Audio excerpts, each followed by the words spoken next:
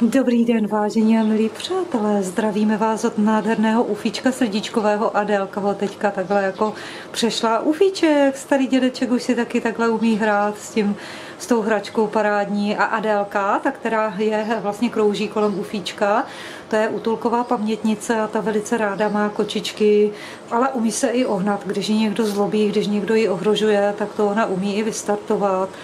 Co se týče ufíčka, ufíček srdíčkový, to je ten kocůreček, který kouká na hračku. Je to chlapeček, který pochází z eh, Karlovarského kraje. On byl, eh, vlastně on měl Filipa, protože on se přistěhoval k mocodné paní. Chodil tam na okýnko, vyžadoval si papáníčko a pomoc a paní viděla, že, jogin, že pardon, ufíčkovi je ouvej, že je poraněný, nožičky mu krvácely, že je hubený a tak dále. Takže jsme se domluvili na Ufíčkovo převzetí do srdíčkového útulku a zjistili jsme, že má zvýšené ledvinové hodnoty. On tady prodělal, neprodělal sice panleukopeny, ale úplně takovou tu jednu z velkých panleukopenických karantén. Když byl zrovna na karanténě, tak tam zemřel kocourek řehůřek. Ne ten poslední řehůřek, ale ještě jeho předchůdce, který měl i poraněnou pánev takže už časy už tady prošel, vlastně prodloužila se mu i karanténa.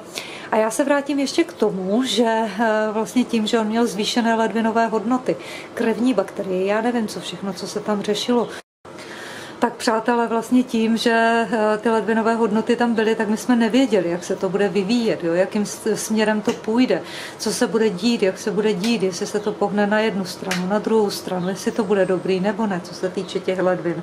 Ale byť by on je měl vysoké ty ledvinové hodnoty už tuhle chvíli a hubné, tak on to všechno předtím překonal dobře, ty ledviny vysoké měl, ale uh, prostě přeléčili jsme ho, mohl spokojeně žít a tak dále. A je to úžasný kluk, který teďka vlastně navštěvuje hlavní kočičí skupinu a útulkovou kuchyň a je bezvadný kočičí kamarád, Akorát jsou tam problémy v tlamičce se zoubkama, ale nejsme schopní vlastně nějak jeho když to nebude nezbytně nutné, tak nejsme teďka schopni při jeho parametrech ledvinových a tak dále jakoby udělat revizi zoubku jen tak. Jo? Je to už takové náročnější u těch zvířátek, protože tam hrozí zatížení ledvin, není to legrace, je to prostě náročná záležitost. Tak, Adélka, Ufíček, Jogínek, Týpečkové úžasní, u mě teďka Agátka Srdíčková.